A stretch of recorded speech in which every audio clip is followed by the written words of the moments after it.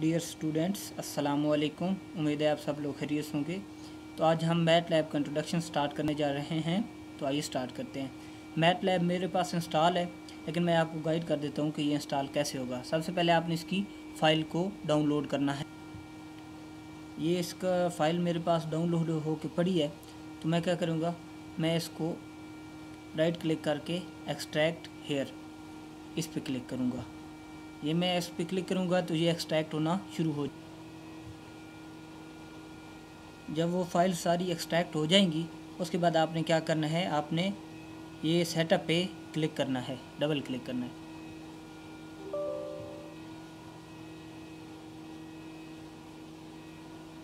तो double click करने के बाद ये विंडो आपके सामने आएगी। तो आपने किस तरह करना है कि आपने इंस्टॉल विदाउट यूजिंग इंटरनेट इसको क्लिक कर देना है। उसके बाद नेक्स्ट कर देना है। उसके बाद ये टर्म एंड कंडीशन आएगी, इसको आपने यस कर देना है। और उसके बाद नेक्स्ट कर देना है। उसके बाद क्या होगा? उसके बाद आपने I have the file installation key on my for my license ये आपने इसको क्लिक करना है।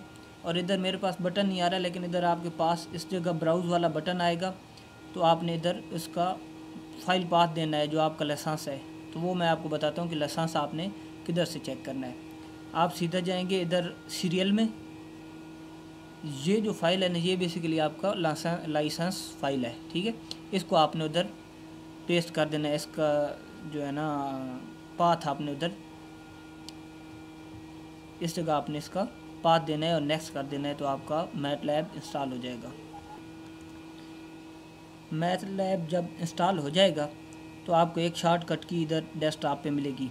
अगर आपकी इधर डेस्कटॉप पे आपको शॉर्टकट की नहीं मिल आपने क्या करना है? आपने सी ड्राइव में आना है। सी ड्राइव में आने के बाद आपने प्रोग्राम फ़ाइल को क्लिक करना है। उसके बाद आपने इधर देखना है कि इधर आपका मैट लैब का सॉफ्टवेयर होगा, ये फोल्डर होगा। आपने इसको डबल क्लिक करना है। उसके बाद आपने बिन में जाना है। उसके बाद आपको ये इसकी एप्लीकेशन इधर नज़र आ रही है। इसको आपने इधर से इसका शॉर्टकट क्रिएट करके और डेस्कटॉप पे पेस्ट कर देना है। तो आपको डेस्कटॉप पे इसका शॉर्टकट मिल जाएगा। जब आपकी शॉर्टकट की इधर डेस्कटॉप पे आ जाएगी तो आपने इसको डबल क्लिक करना है तो मैट लैब ओपन हो जाएगा। मेरे पास ये मैंने पहले से ओपन करके रखा है, आपको बताता हूँ इसका।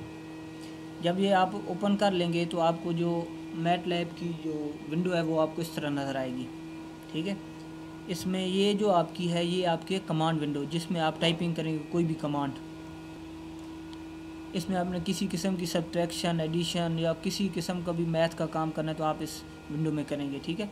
उसके बाद है ये आपका करंट फोल्डर इसमें आप जितनी भी करंट फाइल्स आप सेव करते जाएँगे, वो आपको इधर शो हो रही होंगी नीचे के कौन कौन सी फाइलें आपने इधर सेव की हुई हैं। इधर वर्क स्पेस पे आ जाएँ। जितने भी वेरिएबल आप डिफ़ाइन करेंगे, वो आपके इधर शो हो रहे होंगे कि आपने कितने वेरिएबल डिफ़ाइन किए हैं।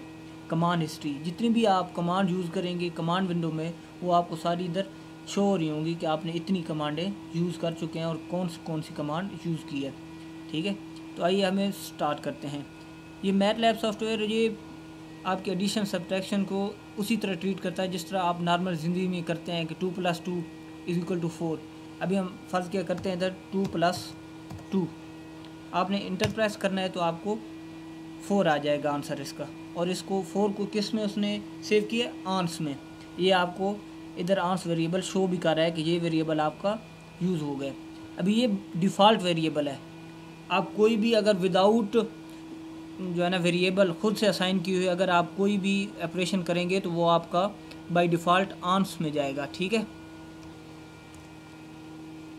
अगर आप चाहते हैं कि आपकी जो आउटपुट है वो किसी ख़ास वेरिएबल में जिसको आप कोई नाम देना चाहें तो आप वो भी कर सकते हैं। आपने क्या करना है? सिंपल आपने फ़र्ज़ किया, मैं अपने नाम से जो है ना एक वेरिएबल असाइन करता हूँ तक्की इक्वल करता हूँ टू प्लस टू अभी क्या है?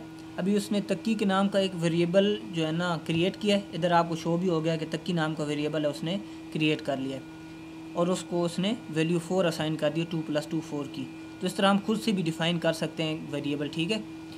अब अगर हमने इस विंडो को कमांड विंडो को क्लियर करना है तो हम सिंपली क्या करेंगे? सी एल सी पर टाइप करेंगे और इंटर करेंगे। तो आपकी ये जो कमांड विंडो है, ये क्लियर हो जाएगी, ठीक है? लेकिन आपकी वर्क स्पेस जो है ना, ये क्लियर नहीं होगी, ठीक है? तो हम इसको क्लियर करने के लिए क्या करेंगे? कौन सी कमांड यूज़ करेंगे? क्लियर ऑल की कमांड यूज़ करेंगे और प्रेस इंटर करेंगे तो आपका वर्क स्पेस में भी जितने भी वेरिएबल हमने डिफ़ाइन किए थे, वो ख़त्म हो जाएँगे, ठीक है? इसी तरह अगर हमने कमांड विंडो को क्लियर करना है तो हम क्या करेंगे? इसमें पहले इसको एक्टिव करेंगे, इस पर क्लिक करेंगे, ठीक है? और उसके बाद कंट्रोल ए करेंगे तो ये सारी चीज़ें सेलेक्ट हो जाएँगी। उसके बाद हम डिलीट प्रेस करेंगे तो कमांड हिस्ट्री जो है ना, आपकी डिलीट हो जाएगी, ठीक है? और हम भी, हम कमांड विंडो को भी सी एल सी करके क्लियर कर देते हैं। तो अभी हम अगले लेक्चर में सीखेंगे कि जो है ना अरथमेटिक अरथमेटिक ऑपरेटर जो है ना वो किस तरह यूज़ करते हैं।